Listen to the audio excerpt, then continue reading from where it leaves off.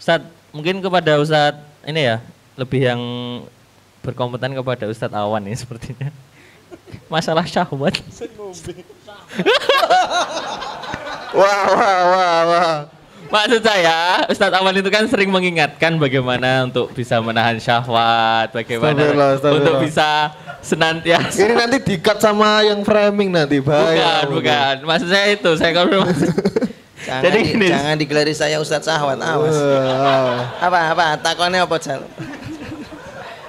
Ya kan ada ya, Ustadz itu kan kalau ngomongin sedekah, yuk digelari Ustadz sedekah. Sering zikir, Ustadz Zikir. zikir. Ya, sering repot nih ini tadi tuh, sering bahas syahwat, yuk digundang Ustadz syahwat. Nah, Guru alhamdulillah. saya itu sering bahas setan, jadi saya panggil Ustadz Setan. setan. Baik, Oke. apa Ustaz? Assalamualaikum Ustaz. Saya mau bertanya, jika si Ikhwan sudah ingin menikah dan sudah menemukan calonnya, namun terkendala hutang orang tua yang masih banyak dan harus melu- melunasinya, padahal si Ikhwan sudah tidak bisa menahan syahwatnya. Kira-kira seperti apa Ustaz? Solusinya adalah untuk yang masalah punya utang, yang punya utang orang tuanya. Sekarang gini, sampaikan ke orang tuanya masalah bab utang itu masih punya aset apa enggak. Kadang-kadang orang itu ya suka sekali memelihara kesusahan. Apa Pak Ustadz maksudnya melihara kesusahan itu? Jelas utangnya itu cuma 100 juta. Tapi dia masih punya Innova harga 150 karena second.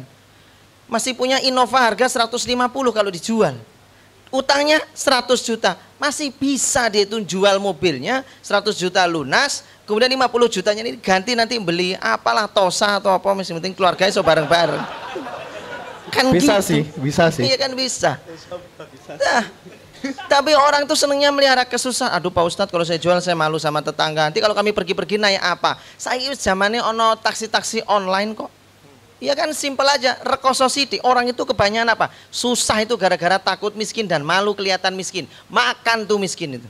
Betul. Kenapa? Ya itu tadi itu, takut miskin dan malu kelihatan miskin. Itu penyakit namanya. Ujub, eh kok ujub. Eh, gengsi itu penyakitnya di situ, tuh, penyakit gengsi.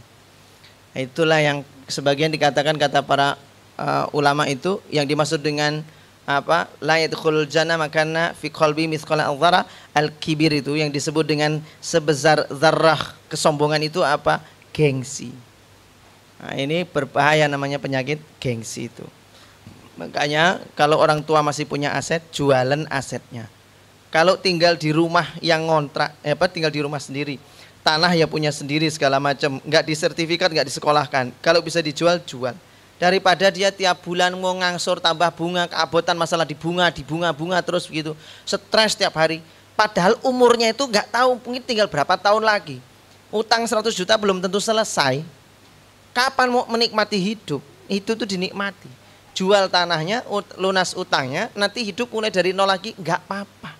Makanya Sabtu Ari itu Mas Sabtu Ari itu ada bukunya judulnya itu kembali ke titik nol. Yaitu kenapa? Nggak apa-apa nol ki sing penting iso plong pikiran nih nol itu kan kosong berarti dia plong nggak mikir apa meneh. Nol ki ibaratkan bola iso gelundung meneh insya Allah bisa lari ke mana-mana. Kui kena nol.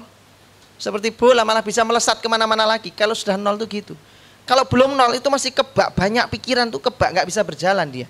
Kalau ingin berjalan kosongkan dulu selesaikan dulu begitu ya caranya kalau yang masih punya utang orang tuanya pertanyaannya kan mesti gini Ustadz orang tua saya nggak punya aset kecuali saya Pak Ustadz ya kue didol gitu Paling yo piro. Teko banget ya. Paling yo piro ora payu ya. Ya kalau nggak ada lagi aset yang mau dijual ya otomatis mau gimana lagi kita fokus ke eh, bantu mungkin orang tua masalah utang kecuali ya kecuali orang tua tidak mempersoalkan masalah utang masnya ini ikhtiar dulu ngumpul ke duit ora ketang lo ini. Ora ketang itu 3 juta lah. Insya Allah dia bisa nikah tuh 3 juta. Modal kan gampang. Dulu sering sekali saya sampaikan kiat-kiat nikah cuman modal 2 juta. Nah ini 3 juta berarti sudah lebih. Dan itu sangat cukup mudah gitu ya nggak usah dibahas ini ya kapan-kapan kita bahas bagaimana nikah 2 juta cukup Cukup, ya. Nah, kalau sudah 2 juta terus kok bisa nikah nah, itu ingin nikah meneh nanti karena sukses itu Karena tabungannya ternyata gampang gitu loh ternyata tabungannya 8 juta. 8 juta. Kepake 2 juta. Bisa 6 juta. apanya gimana Tabungannya 8 juta. tabungannya 8 juta Kepake 2 juta. Nah, masih sisa Masih kan? 6. Iya, iya. Bisa. Nak lagi. Ya, idenya keluar dia sudah mulai cerdas dia Salim dulu. Ya, ya, ya. Lagi ada pertanyaan?